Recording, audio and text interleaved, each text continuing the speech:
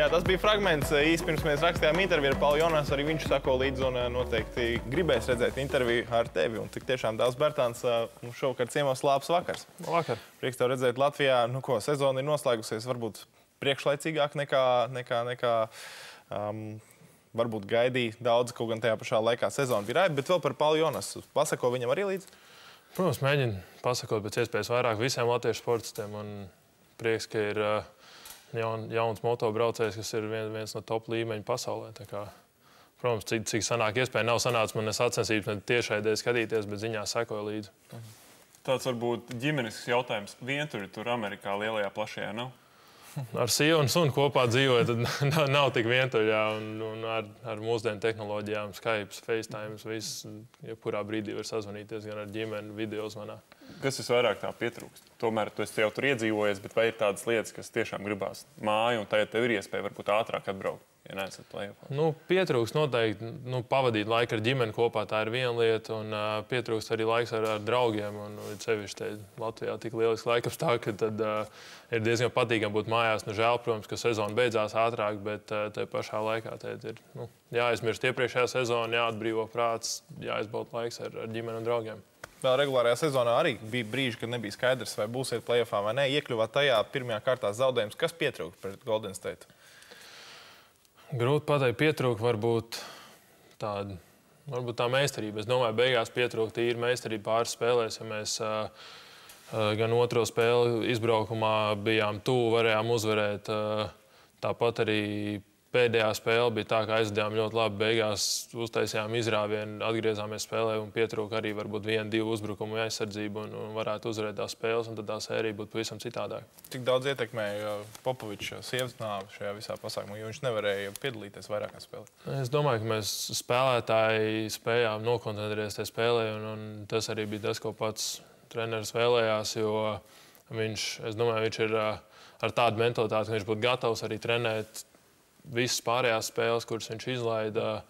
Bet viņš teica, ka viņš negrib noņemt uzmanību no, ne no, no mēdījiem, ne no faniem, lai, lai nebūtu pievērsta uzmanība spēlēs viņam, bet cilvēki tiešām nāk atbalstīt komandu un komandu spēlēt basketbolu un visu pievērst uzmanību tikai basketbolam. Ko no tevis prasīs spēlēt izslēgšanas spēlēs?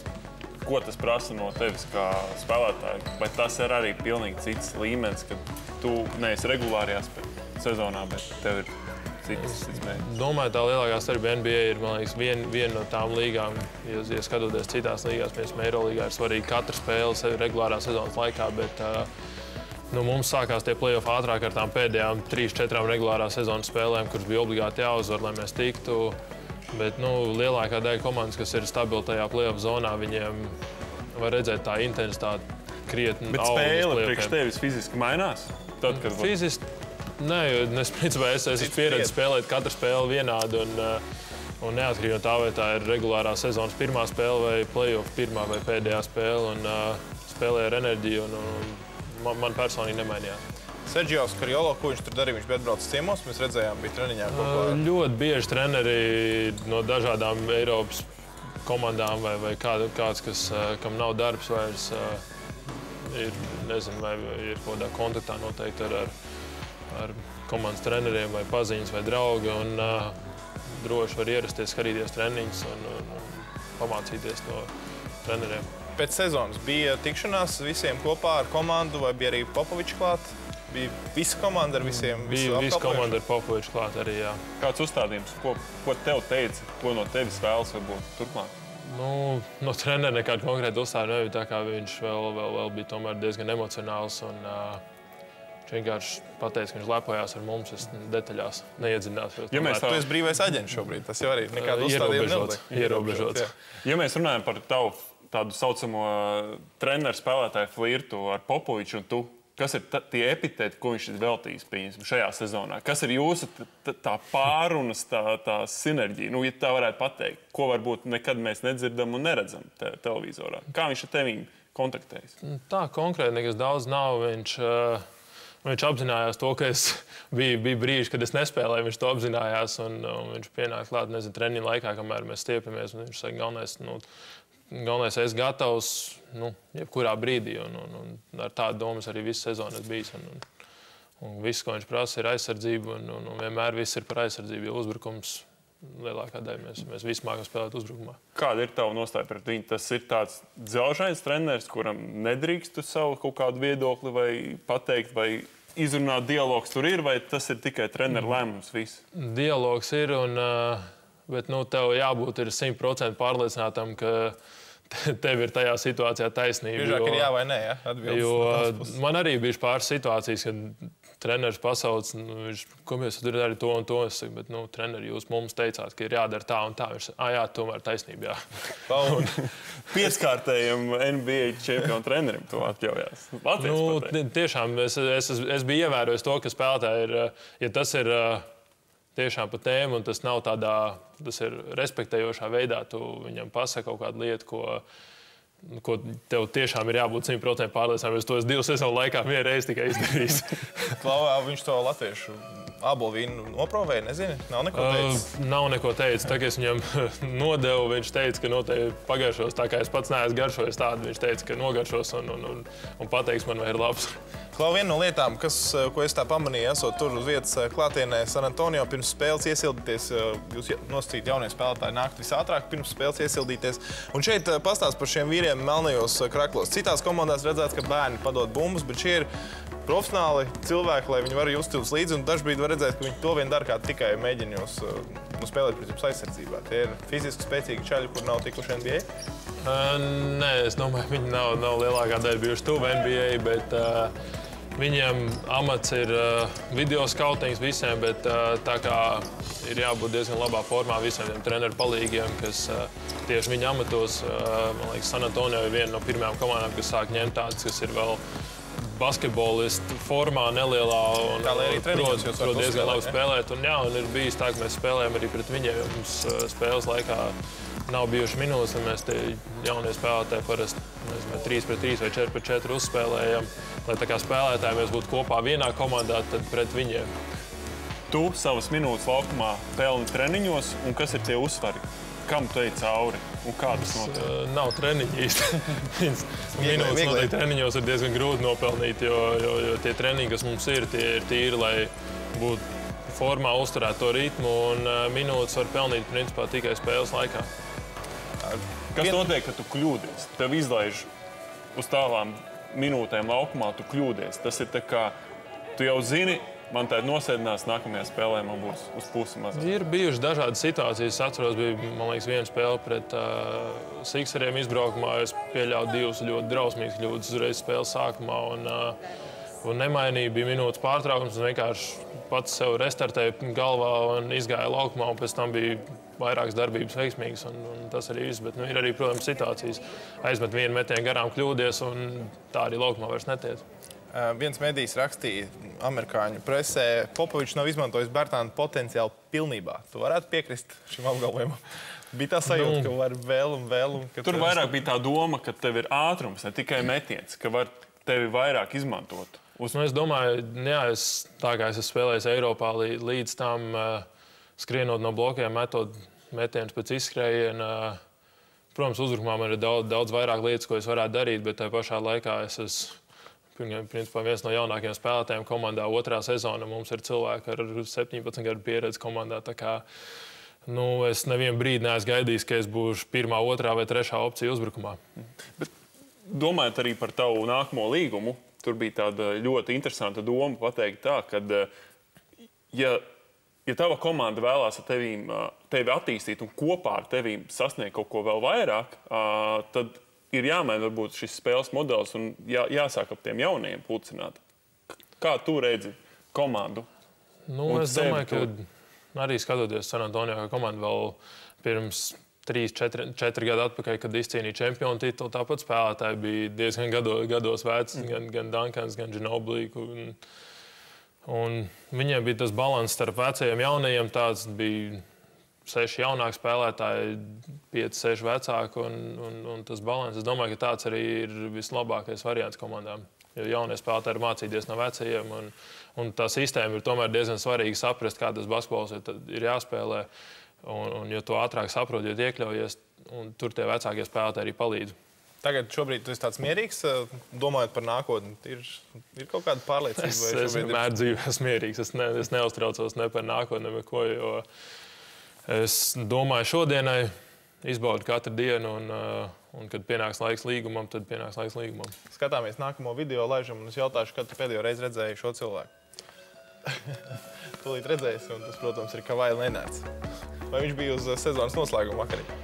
Uh, nu, viņš pie mums San Francisco nebija, kad mēs pabeidzām sezonu, bet uh, arī, arī sezonas pēdējā sapulcē nebija. Bet, nu, es zinu, viņš ir tāds cilvēks, kas uh, strādā to, ka, to kā darbu viņš iegulda visu to laiku, kad viņš bija zālē. Uh, Zinu, ir tāds viss baumas klīst apkārt. Uh, vispār viņš nav runātīgs cilvēks. Tā kā grūti pateikt, man, kas, kas notiek ar viņu vai ar komandu tādā ziņā. Bet uh, zinu to, ka viņš strādā smagi un, un, un cenšas atgriezties. Bet jums bija kaut kāda arī iekšējā spēlētāja sapulcīta uztaisīta saistībā ar Lenārdu pazušanu? Nevar atklāt. Nevar atklāt. Ja. Tu minēji, ka šie pieredzējušie spēlētāji jaunie mācās. Ja tā var pie, pie, pielikt pie jauniem arī tevi, kas ir tās trīs, piecas lietas, ko tu esi paņēmis no Ginobili vai no paša trenera, kas ir mainījies, nonākot NBA un redzot to, kā viņi strādā? Ko viņi dara tādu, kas tev ir pavērst citus apāršus? Es domāju, jau tīri redzot, cik ļoti katrs spēlētājs un, un, un, un treneris pievērš uzmanību tieši tam skautīgam pretinieku komandai, zināt, ko tas uh, pretinieks spēlētājs grib darīt, kas viņam ir pirmā, otrā opcija uzbrukumā. Un, uh, tas arī ir tā, tā galvenā lieta, ko iemācīties aizsardzībā. Jo, nu, Mēs visi nu, līdz 30 gadu vecumam, domāju, varam diezgan labi pakustēties. Tad aizsardzībā tas viss tomēr ir vairāk zināms. Bet reāli no Ginobili kaut kādu spēles manevri, kaut kādu, nezinu, mēģinājumu, vai kaut ko tādu ņēmis, kaut ko mēģinājis pielietot, vai tas, kas pilnīgi tev nu, nē, es domāju, ka tāds, tāds individuāls spēlētājs kā man, jo katrs, katrs spēlētājs tomēr uh, ir ar savām īpašām dotībām un, un, un diezgan grūti ir atkārtot uh, tajā līmenī, ko citi dara. Jā, nu šeit mēs redzam līdzekļus, kā tu pats teici, ka katrā spēlē ir fanu grupiņa no uh, Argentīnas. Un, uh, tur bija cilvēki, arī, kas 12,000 km no Ķīnas ir braukuši. Uh, pirmajā sezonā jau es tev vaicāju, vai, kā būtu ar iespēju, ja nu gadījumā var aizbraukt ciemos pie tevis. Tad tu teici, ka tieši Ginobili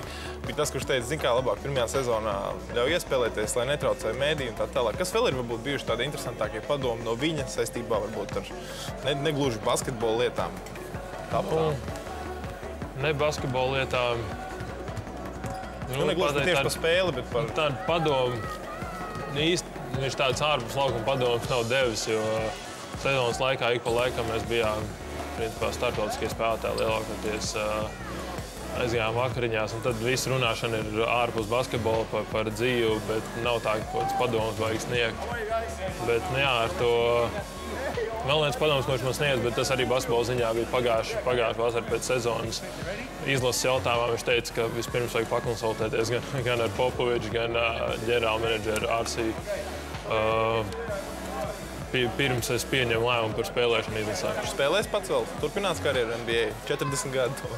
Es ļoti ceru, ka jā, jo paskatās, kā viņš šo sezonu nospēlēja.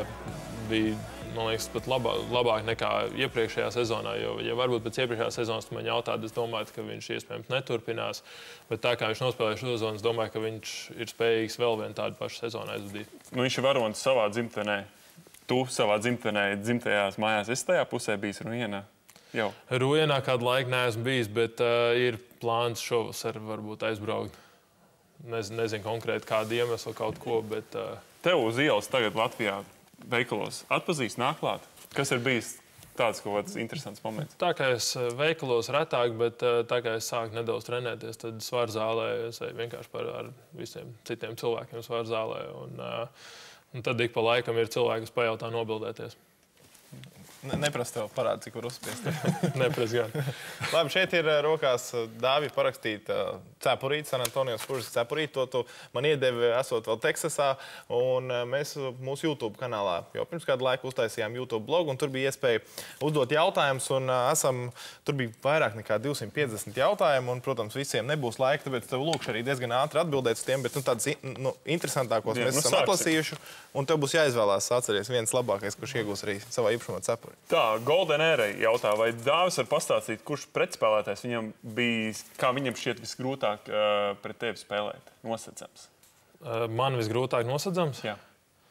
Nu, es domāju, ka Gadījās Klais Thompsons sekt uh, playoffs un uh, visgrūtāk, jo viņš nepārstāja kustēties. Visu laiku jāskrien viņam līdzi. Viņš jau nedriblē arī pašai. Nedriblē vispār un tikai skrien no blokiem, un tas, tas ir ļoti grūti aizsardzībā. Juris Kalniņš vai Dārzs gribētu kādreiz spēlēt kopā ar Porziņu vienā NBA komandā? Un vēl viens jautājums klāt, vislabākā un sliktākā arēna NBA. Uh, protams, gribētos ar Kristapu kopā spēlēt, uh, izlasē, izbaudīt to, būtu būt, būt forši vienā komandā noteikti. Un uh, sliktākā arēna. Pirmajā sezonā viennozīmīgi tā bija Detroitas arēna, bet viņam šodien jauna. Tā kā es to teikšu. Kāda vecākā? Tāpēc ļoti veca un ģērbta bija. Es domāju, varbūt tā kā pieci tie dīvaini kopā. Kāds hokejs ģērbjās? Redvings jau Tajā- cita arēna noteikti. Nu, pretiniekiem es nezinu, kur. Bet... Labākā San Antonio? Labākā, principā viena no jaunajām, es domāju, tagad, ko uzcēla Sakramento, ir diezgan, diezgan forša arēna. Esmu ievērojis, ka Dāvis pēc leciena gandrīz vienmēr piezīmējas uz savas kreisās kājas, nevis labās, kurai divas reizes ir bijušas pāraudzes krustas tenniskās saites. Jūtiet, cik rūpīgi skatās NBA. Vai tas ir tāpēc, ka treneri un fizioterapeiti ir ieteikuši nepiezīmēties uz labās kājas, vai arī Dāvis pats neapzināti izvairās noslogot šo kāju? Uh, noteikti nav neapzināti. Nē, ir neapzināti. Laikam neapzināti. Jā. Uh, nē, es pats pievērstu tam uzmanību, es pat nezināju to. Bet uh, es domāju, ka vienkārši tā lieta, ka man caurgājienos ejot, ja es no vienas kājas atspūros, tā vienmēr ir kreisā kāja, no kuras atspūros. Loģiski diezgan dabīgi tas ir, ka arī piezemējās tās pašas. Robis raksta, ko Dārzs domā par Dreimondu Grīnu pēc kašķa. Nu, tas, tas viss paliek basketbola laukumā, jo kā beidzās pēdējā spēle, viens otram pateicām, ka tas ir ne, nekas personīgi. Un, uh, viņš jau viņš ir tāds spēlētājs, kas to vienmēr liekas, ir darījis, ka spēles laikā ir visas izdarības visādas. Un, uh, es vienkārši mēģināju pielietot viņa taktiku pret viņu, un man savā veidā arī izdevās. Nākamais jautājums. Jānis jautā, kurš basītī iedevis vairāk? Popovičs, Melders, Zeiča vai Zieča. kāds, Zieča vai kāds cits? Nu, jāatzīst, ka visvairāk man noteikti deva laiks Belgradā pie, pie Buļbuļsaktas. Tas, tas, domāju, ir tas numur viens treneris, kur, no kuras sāku nu, kā jaunais spēlētājs un tika Eirolandā pie diezgan lielām minūtēm. Kārtas prasa, iedomājamies, ka- kas Pūrs spēlē finālā pret Cavaliers vai Warriors, ā, kas, protams, tā pret Warriors nesanāk, bet ā, treneris Dāvim liek satraumēt kādu no līderiem. Durant, Lebrons, kā arī līdzīgi kā to Zāze izdarīja pret Lenārdu. Vai Dāvs pildīts treneru norādījums, ko izvēlētos? Čempionu titulu vai arī skatītāju nicinājumu vai zaudējumu finālā? Es, uh, nu, es pirmkārt zinu, ka man treneris noteikti tā neteiktu darīt, bet, Bet uh, ja tā notiktu, es visticamāk atteiktos. Jo, uh, Nākamajā Pats- sezonā pa- var būt komandas biedrs. nu, pirmkārt, varbūt komandas biedrs nākamajā sezonā, un otrkārt, uh, pats esmu izgājis pietiekami daudz traumām cauri, ka nenovēlu to nevienam. Vai Dāvs izvēlētos palikt par diviem miljoniem, pieņemsim, San Antonio vai piekrist citur spēlēt par 4-5 miljoniem? Tas ir labs jautājums. Es Investīcijas. domāju, es domāju, ja tas nonāks līdz tai situācijai, tad būs laiks par to domāt. Un, un, un šobrīd tas ir vēl diezgan tālā nākotnē. Labāk iemest uh, trīspunktnieku pāri Lebronam vai noluķēt porziņu. Uh, es teikšu, laikam, ka iemest trīs punktus pāri Lebronam. Uz porziņu grūti aizsniegt. Nu, ko tā ir tavs uzdevums? Kam tiek tavā cepurīte ar tavu parakstu? Vēl viens bija piedod. Kāpēc vidusskolā līdzi priekšā rindā kafejnīcā? Edgars. nu, Atcerās, pasties, kā. es arī atceros. nu, man sanāca tā, ka ļoti ēst gribējās, ka bija pusdienu starpbrīdis. es domāju, ka man vairāk kā citiem gribējās. Augošs organisms. Tieši tā, un, un, tāpēc arī līdzi Vēl priekšā. stiepies? Vai Es jau ceru, ka nē. Kurš iegūst saprīt? Tev ir interesantākais jautājums, kurš tev likās. Dosim pēdējiem par indālīšanu. Okay. Saviem no trešās skolas jādod. Labi, apsveicam. Tātad, un pēdējais jautājums, protams, par Latvijas izlasi. Simtprocentīgi saka, jā, spēlēšu, un, un kad pievienās. Uh, es no savas puses, jā, bet uh, vēl ir apdrošināšanas jautājums, kas Latvijas Basketbola Savienībai ir jāatrisina, lai spēlētu. Jo, Bet no kluba es- puses visu akceptē. nu, principā jau, ja pagājušajā sezonā atļauts, tā nav problēma, bet uh, nu, pats es gribu spēlēt. Un, un tā ir viena lieta, ne, es nevaru riskēt bez šī situācijā, ka man nav līgums. Nākamajā sezonā es nevaru riskēt bez apdrošināšanas. Paldies, lai izdodas noslēgt nākamo līgumu. Un, Lielu. protams, lielo līgumu. Jā.